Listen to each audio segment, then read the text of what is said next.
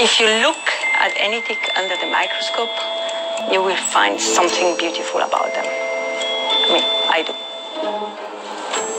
So we are in the U.S. National Tick Collection, the largest tick collection in the world. The collection is over 100 years old. We have uh, found some uh, ticks that came from presidents' dogs. This was from Franklin D. Roosevelt, actually Scottish Terrier, yes, 1944. Kids love what they think is gross, right?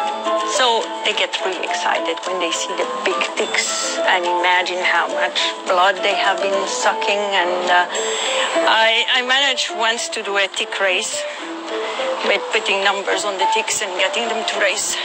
Ticks don't jump, they don't fly, they don't fall off trees. You have really to touch them for them to be able to grab you.